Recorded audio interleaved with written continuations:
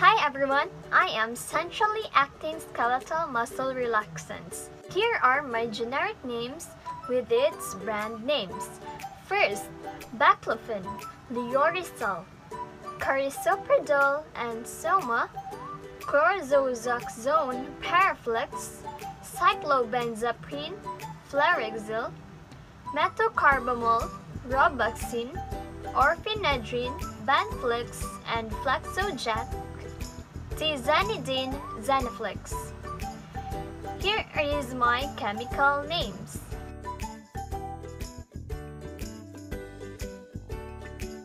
And for my drug classification for therapeutic, I inhibit monosynaptic and polysynaptic spinal reflexes and other than that, it is a CNS depressant. And for pharmacologic, I am a muscle relaxant. My pregnancy category is category B. My exact mechanism of action of skeletal muscle relaxants is not fully understood, but it is thought that it involves the participation of the upper or spinal interneurons. And my pharmacokinetics. I have two routes, the oral and intrathecal. For oral, my onset is 1 hour, peak of 2 hours, and duration of 4 to 8 hours. For intrathecal, my onset is 30 to 60 minutes, peak of 4 hours, and duration of 4 to 8 hours. My indications Centrally acting muscle relaxants are indicated for the following conditions. First, primary indication is the relief of discomfort associated with acute painful musculoskeletal conditions as injuncturous physical therapy and other measures. Alleviation of signs and symptoms of spasticity may be of us on spinal cord injuries or spinal cord diseases. For different age group, children, adults, and older adults. For children, the ineffectiveness not established in children. However, children older than age 12 may be given with metaxalone. Baclofen, on the other hand, is used to relieve spasticity associated with cerebral palsy. Methocarbamol is the drug of choice for children with tetanus. Children should be monitored closely for CNS and GI toxicity. For adults, they should be cautioned to avoid activities that require alertness because drugs can cause confusion and drowsiness. Muscle spasm in adults related to anxiety can be treated with diazepam.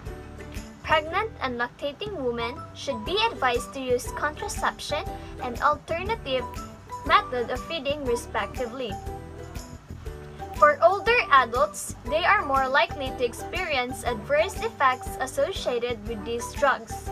Carisoprodol, the centrally acting skeletal muscle relaxant of choice for older patients and for those with hepatic or renal impairment.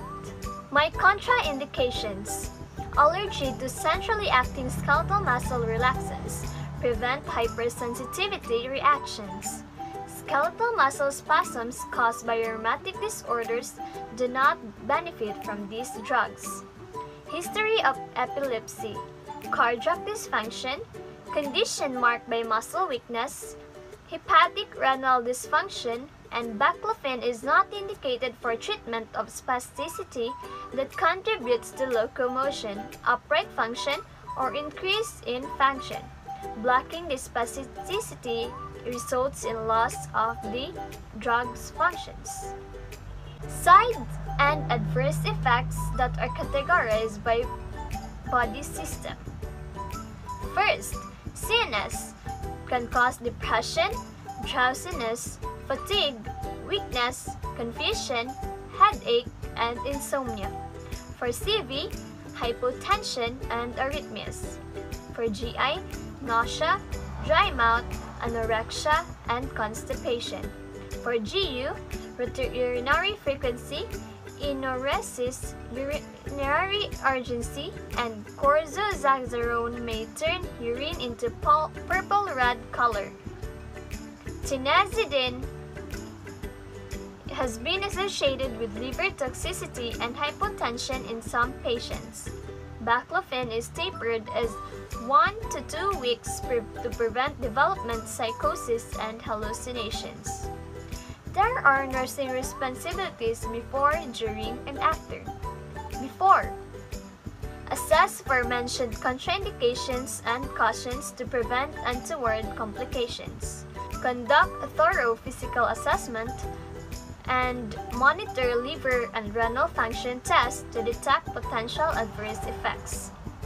During, provide additional spasm and pain relief like rest periods applications.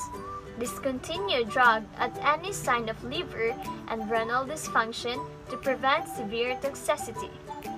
Monitor respiratory status to evaluate adverse effects and arrange for appropriate dose, adjustment, or discontinuation of the drug. Provide comfort measures to help patient tolerate drug effects.